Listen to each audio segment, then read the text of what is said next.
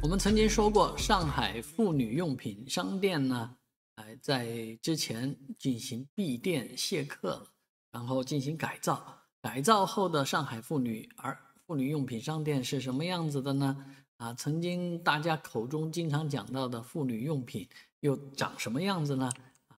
非常的好奇，有人已经去打探过了。啊，目前的这个上海，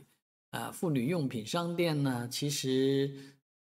比以前来讲啊，是呃很大的提升，但是呢，却越来越不显眼了，不起眼了。啊，只是以前的那个红字的那个标牌还在，还保留着过去的传统，啊，还是那块招牌，还是那个用字，啊，但是呢。楼下的商店早已完全不一样了。目前开了一些这个吃的、喝的、用的啊，当然也有这个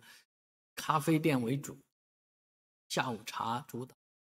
毕竟它所在的这个建筑是 Art Deco 风格的培文公寓，培文公寓里面其实更多的是一些居民啊。那在居民楼里面开的这个商店，只是因为原来占据了淮海路的啊这个要冲地带。但是今天由于淮海路的没落啊，这个整，而且人流量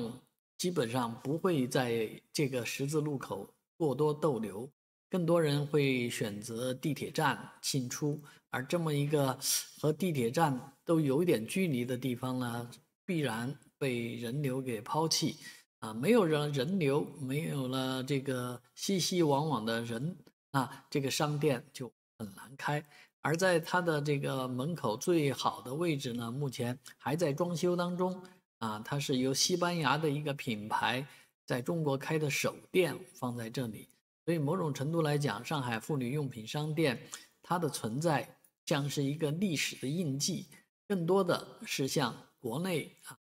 向其他城市的人，或者说向全世界的人啊来展示的一个窗口啊。要说真正的商业的流量，可能已经。没落的不行了。